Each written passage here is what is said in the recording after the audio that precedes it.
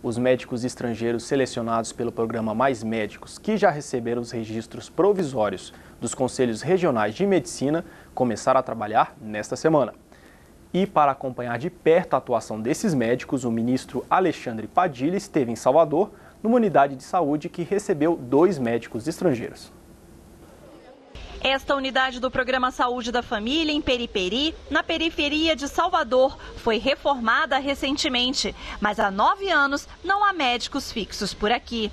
A população, de quase 12 mil pessoas, quando precisava de um médico, tinha de buscar atendimento em outros bairros da capital baiana.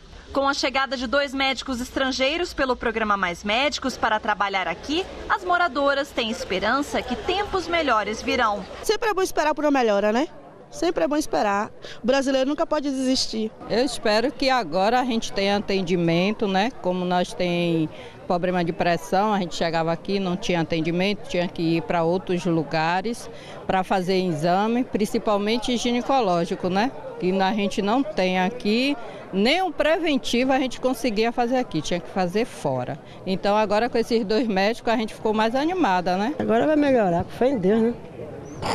Tá bom. Fé em Jesus vai ser bom. Desde terça-feira, o médico português Raul e o angolano Francisco Manuel trabalham na unidade chamada Nova Constituinte. Minhas expectativas é que com a nossa colaboração possamos efetivamente melhorar os padrões básicos, pelo menos os padrões necessários para uma boa vivência do, do povo brasileiro. Nós temos conhecimento de que algumas pessoas não têm os cuidados básicos de saúde e como toda a gente deve ter esses cuidados, entendemos que podemos ajudar o governo brasileiro a, a minimizar essas carências eh, no meio da comunidade.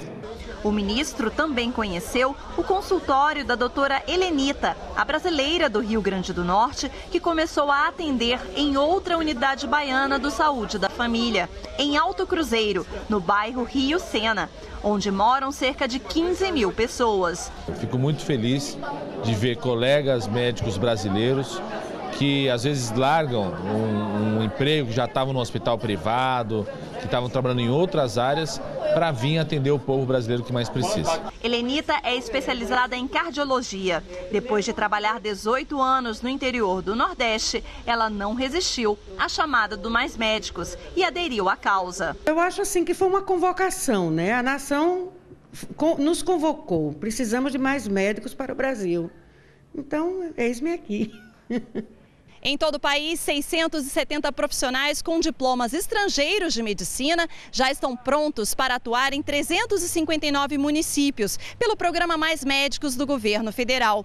E a partir de outubro, o Ministério da Saúde planeja novas ações para atender as localidades que ainda necessitam de atendimento na atenção básica à saúde. Todo mês nós vamos continuar abrindo as inscrições para os médicos de outros países e parcerias internacionais que nós estamos fazendo. Assistência que chega em boa hora para moradores do interior do país e das periferias das capitais brasileiras. É um orgulho para a gente saber que nós agora vamos ter médicos, vamos ter atendimento aos idosos, vamos ter um curativo, tudo próximo à nossa casa, que era a coisa que mais nós clamávamos.